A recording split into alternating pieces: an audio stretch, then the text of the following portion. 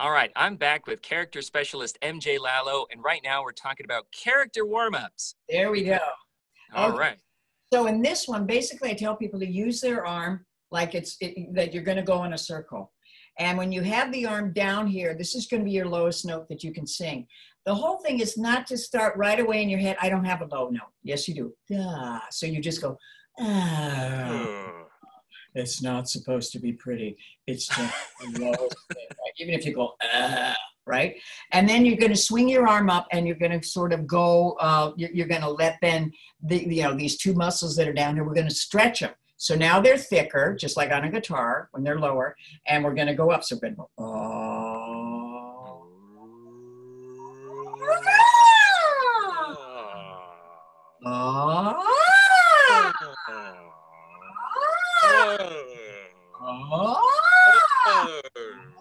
You go faster. Oh. oh. However you want to do it. But what that does is it again, it's just like being at the gym picking a uh, weight up and going, you know, like this with it. So these guys are they're learning to stretch. So you you know when people say, well, I can't go that high. Well, you haven't stretched it. You've been talking in this like in this range most of your life. Whether it's I'm really angry with you, I'll have a cup of coffee. It's the same note, right? So what you're doing when you do that is then you're you're stretching this. So I've had men say, no, I can't, I can't possibly go up high. And I go, let's just try it. So we start really low, and I I usually use a really heavy duty, you know, kind of character like in a game or something. And I just say, so feel like if you want to use your fists or something, and you're just really, ah, I shall take your land. That's the lowest one. And I want him to have that kind of gesture. And then I go, now we're going to go up a little higher. So we're not in the gut. Now we're going to move a little bit up in the chest. Uh, we're going to put a little bit. And now that's the person you're talking to. No, I shall have my revenge. Okay, it's a little bit higher now, right? Still not your voice. Now we're going to go to your voice. What'd you have for lunch? I asked, what'd you have for lunch? Um, let's see, I had an apple and a peanut butter sandwich. Okay, so there I am up there. Now I'm gonna go back into the adenoids, right? Back in uh back in here. It's a little bit higher. Uh yeah. Uh well, you guys, it's really good to see you all here at the swimming pool. You know, so whatever, I mean, I'll come up with something I wanted to say, or they can say stuff back to me as well. And then I'll say, now, let's go into the nose. This is your nasal placement, kind of a nerdy thing. You might like, I, I don't know what I did with my two terabyte. Huh, it's here somewhere, right? um, so then you have that character up in here. And a lot of people can't do that one. They feel like because you're using these this muscle here, you're going, "Uh," see how that's pulled in? So you have to use that muscle, which a lot of people don't use. It's a it's kind of the bunny muscle, isn't it? Because bunnies, you know, they, they're really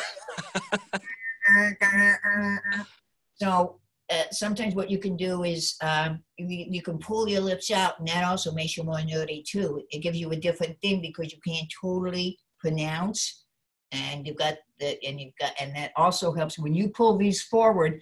This comes in, so that's what happens in, the body. So if you're going, I just some people, I just I don't know how to get to the nose, and it's like, well, and you could also start by just pushing it in, and then seeing what it would take for you to develop that muscle in your nose, not to go like that. Then you go up into your eyes, and then so you're going to go up a little higher. And the first character is very breathy, and she's up there floating, you know, floating in the clouds, and everybody can say things. Oh, it's really pretty up here. Oh, look, I can see Jupiter. That's beautiful. That's beautiful, right? But now that's a gentle, higher voice, right? But then I said, what if she's really pissed off? It's the same placement, but now I'm pissed off.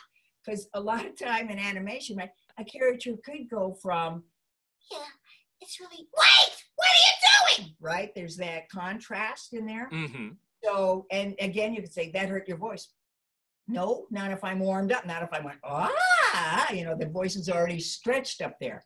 So the thing is to take it easy when you first do that, but you know, have some fun with it and try and feel like if you went from just a really sweet character who's up in the clouds, and she's having such a great time, to the one, you know, that's pissed off, then you know, you're just going to go back and forth on it a little bit.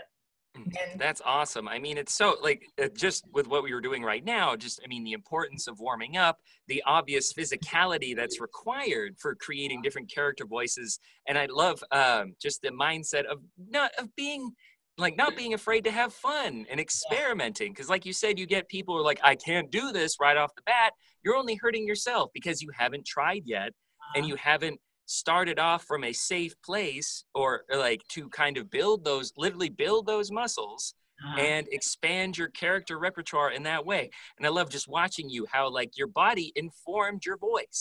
Like if you had your hand at your abdomen you spoke from the abdomen. If you had your hands up here you spoke from the head. And doing whatever you can to build that kinesthetic that physical awareness. Before and like eventually you might need to touch your nose to be able to get a nasal character but eventually you'll just know how to do that naturally and then and just unconsciously. And so that's huge. I mean there's so much to unpack from this.